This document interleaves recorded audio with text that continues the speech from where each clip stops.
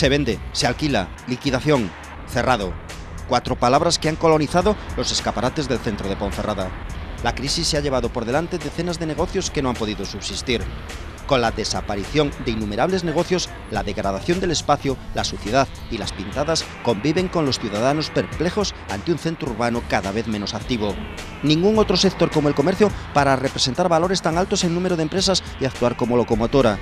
El comercio es un eje económico que muestra la pujanza de la ciudad.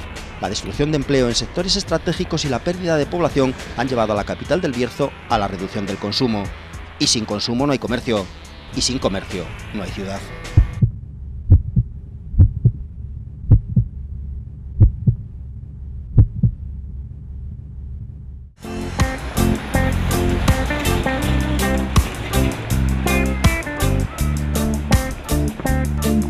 Que los negocios están muy mal. Mucha crisis en la villa. La crisis. La crisis. Cuando venía esporádicamente, ahora que vivo más continuamente, sí veo que, que ha bajado. Yo creo que sí. Está perdiendo todo porque está todo cerrado y será de las ciudades que más notaron la burbuja. Ha bajado muchísimo por el tema del desempleo no hay casi mucho trabajo y eso. La crisis debido a, a la retirada del carbón, del mix energético, etcétera, etcétera, pues eso para el Bierzo ha sido un problema gravísimo. Está todo muy mal, la cuenca minera faltó, que era lo que daba algo, mi marido en concreto fue minero, y claro, se está muriendo, pues se muere. Es el centro urbano de Ponferrada un sábado por la tarde, despoblado, la actividad comercial que llena de vida las calles, aquí y ahora solo queda en el recuerdo, como gloria de un tiempo pasado.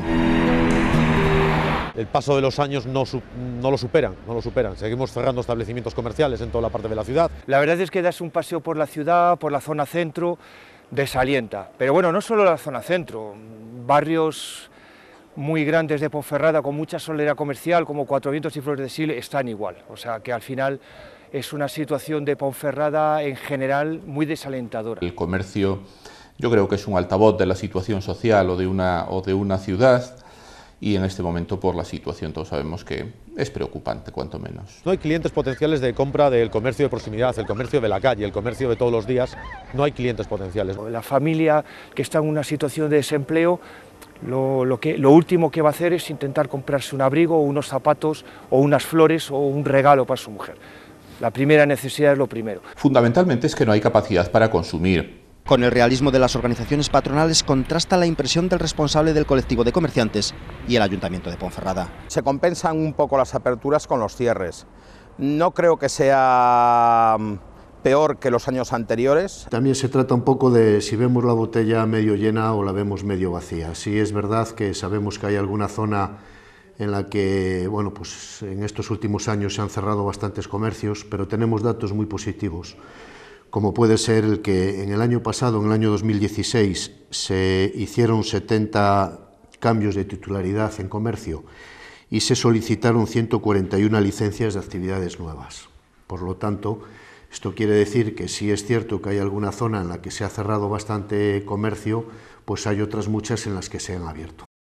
El comercio minorista es un complejo ecosistema de empresas y relaciones económicas donde el consumo actúa como catalizador. Hay demasiado comercio ahora mismo en esta ciudad, demasiado para la cantidad de, potenciales clientes que pueden venir a consumir. Hay muy poca unión, pero vamos, en todos los sectores, no solamente comercio, pero ya que hablamos de comercio, eh, hay muy poca unión en el sector comercio. Necesitamos más unión en el sector comercio, eh, que se puede mover a través de la asociación que existe o a través de FELE, ¿vale? que también tenemos asociación de comercio. Eh.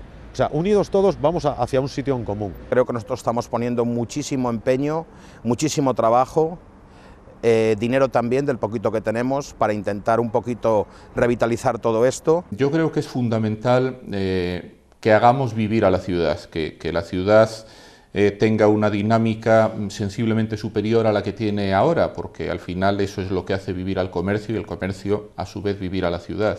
El comercio es el sector donde los consumidores ejercen su derecho a elegir a quién, qué, cómo, cuándo y dónde comprar. Lo principal es que la gente cambie la manera de comprar, la manera de ver las cosas, es decir, eh, ni nadie les roba, ni en ningún sitio te lo regalan.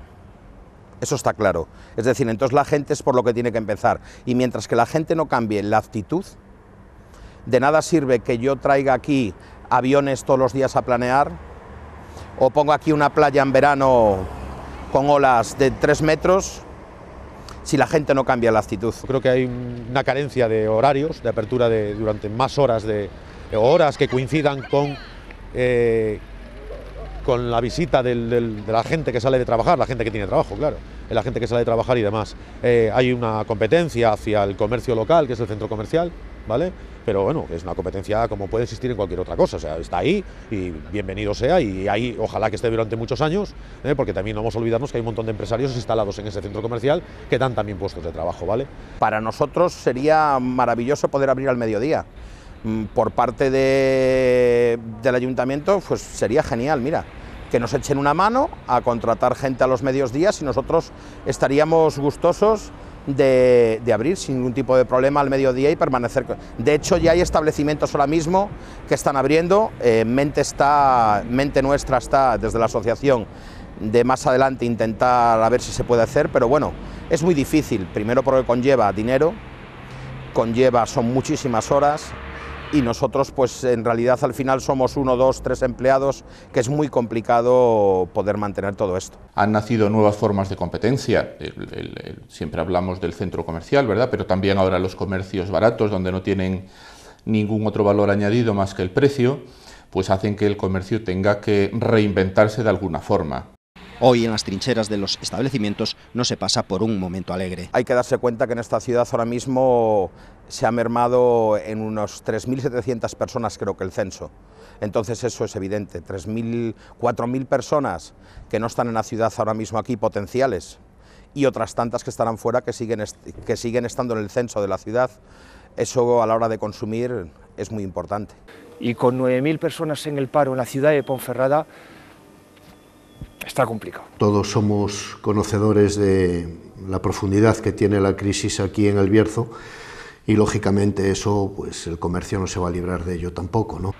El ayuntamiento contrapone a la crítica de una organización empresarial como FELE acerca de la ausencia de una política comercial con el proyecto del Banco de Locales imprescindible completamente eh, comunicación directamente con los comerciantes. O sea, el Ayuntamiento de Ponferrada ahora mismo está bastante cerrado al diálogo eh, y acuerdos puntuales y específicos para diferentes sectores.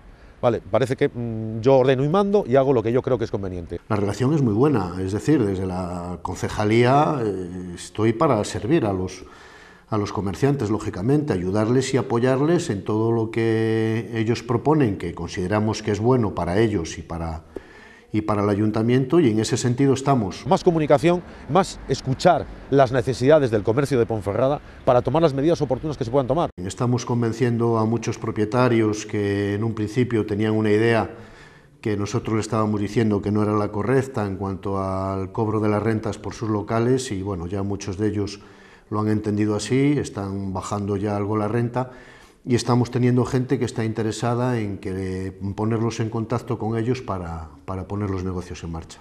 Eso no soluciona nada. Nosotros creemos que al final a mí, ni a mí ni a nadie que alquilamos un local nos va a beneficiar en absoluto.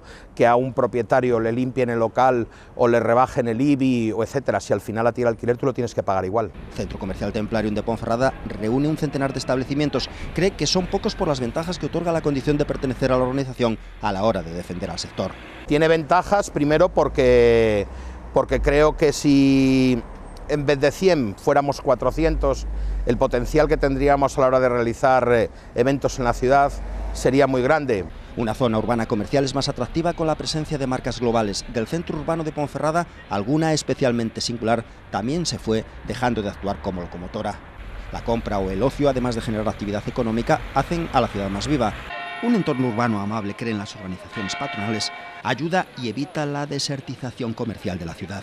Una administración local puede ayudar a dinamizar la, la, la, la ciudad, que esté bonita, que esté limpia, que cree cosas alternativas, hacer atractivo el paseo por la ciudad. Lo primero que tiene que haber para que funcione el, el comercio es un ámbito estético eh, adecuado, es decir, que la gente quiera salir a vivir a la calle y no como ocurre ahora mismo, ¿no? que te quedas con una película en, en el salón y no te mueves de ahí.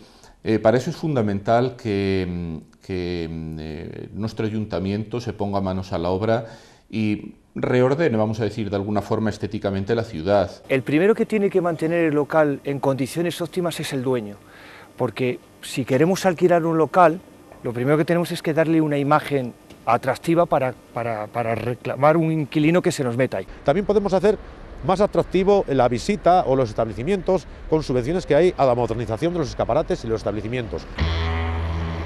Se venden locales pero no productos. Los establecimientos cerrados son ahora los dueños de Ponferrada.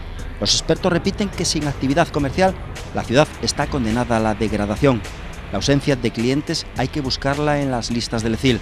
El Bierzo no puede soportar los casi 12.000 desempleados que cada mes alimentan los datos del desempleo.